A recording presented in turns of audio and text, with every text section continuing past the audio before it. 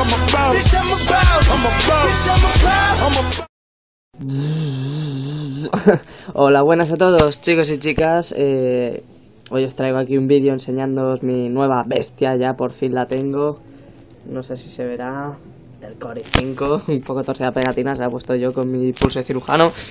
Y estaréis viendo aquí el ventilador frontal con sus LEDs rojos, tope de rechulones.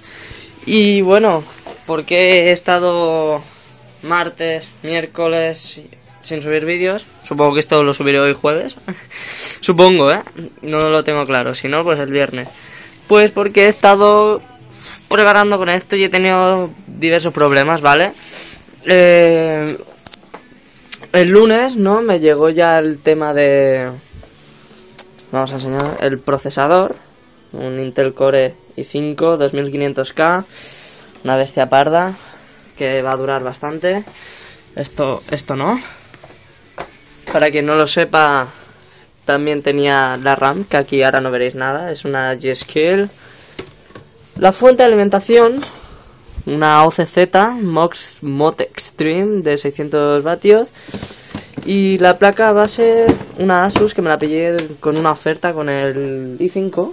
Vamos a ponerlo en la cama. ¡Ah, que sí que hay! ¿Veis? Aquí una de un chipset Z68 con todo lo que ello conlleva. Bueno, lo vamos a poner más o menos ordenado como estaba. Y el problema es que al hacer un cambio tan grande, porque yo cambié todo, menos lector DVD, floppy disk y el disco duro, entonces me pedía un reparar un formateo de, del sistema operativo porque un cambio tan grande de, de hardware o, de software también puede ser, pues no lo, no lo aceptaba o, o algo así. Entonces aquí está la caja, como ves aquí, Cooler Master, HAF 912 Plus. Eh, no os la puedo enseñar ahora la caja porque está en, en la habitación de mi hermana, que ya no vive aquí, pero bueno, todavía es la habitación de mi hermana hasta que me mude yo. Y hay que decir que el cambio. Estamos aquí en YouTube, aquí en mi canal. ¿Vale? El último vídeo que subí, Battlefield 3. Y nada, os quería enseñar mi nueva machine. Eh, falta todavía la gráfica, ¿vale? Entonces, eh, si algún día grabo algo de PC, tendrá que esperar hasta que tenga la gráfica de monitor nuevo. Si todo va bien, espero tener un trabajo en verano que me dé algo de, de cash y me pueda comprar mi gráfica y mi monitor. Esto es la explicación por qué no he podido subir vídeo martes y miércoles. He tenido que, que formatear, eh, o sea, pasar datos a un disco duro externo que no es así en casa, tiene que ser donde hago las prácticas. Suerte, suerte que estoy en una empresa haciendo prácticas de informática y he podido hacerlo todo ahí.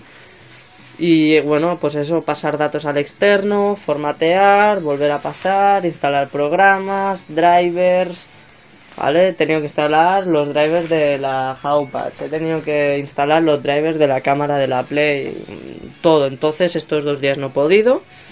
Y ahora que mientras grabo esto, pues a ver si usando un programa que me recomendó Mr. Pedro 4, pasaros por su canal, ya que lo digo. Y a ver, estoy grabando con el móvil.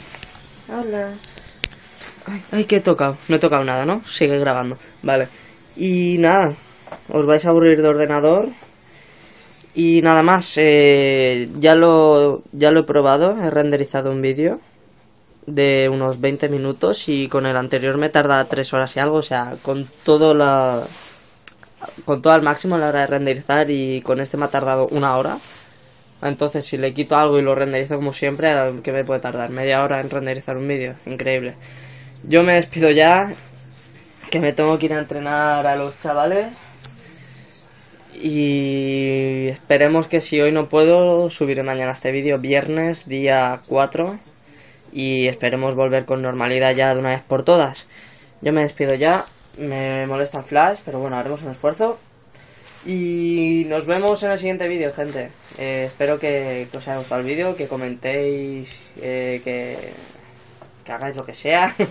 si queréis votar el vídeo y darle un like, y un fab, pues os lo agradecería mucho.